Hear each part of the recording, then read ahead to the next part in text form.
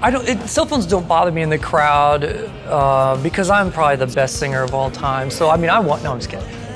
They don't bother me, but the, the fact of the matter is, like, you're never gonna watch this. That's what's so confusing about having a cell phone at the concert. You're lifting it up and you're you're you're, you're recording it for like three minutes or four minutes. I see people with like iPads, you know what I'm saying, or whatever.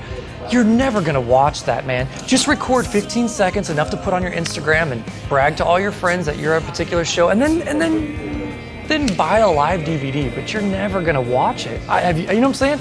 There's videos I take of friends or parties and I'm hanging out and stuff like that, and I'll watch the first four seconds and I remember where I was and I remember the memory, and then I turn it off.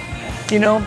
And again, I think it's just one of those things in time. You know, I think that you know if somebody bought bought a bought their, a camera or bought a phone with a camera they're to do it for like a year or two years. They're to be like at shows and recording. And then about the third year, they're to be putting it down. And then the fourth year, they won't even take it out to take a picture, you know, because they're just kind of like, yeah, I don't, you know, this is just taking up space. I just took up four minutes of space on my on my computer that I will never watch, that no one will ever watch.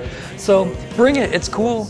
It's just you're missing out on the actual moment of it all you know you're sticking your you know head behind a camera why wouldn't you just like not go to the show and pay a friend to like you know whoever or find somebody else who's going to record it? But to me it's just kind of like maybe tape half a song and then don't tape anymore. Not because we don't want you to i don't care do what you want. You paid to get in here but you paid to get in here like enjoy it like have a good time. So whatever it's teach his own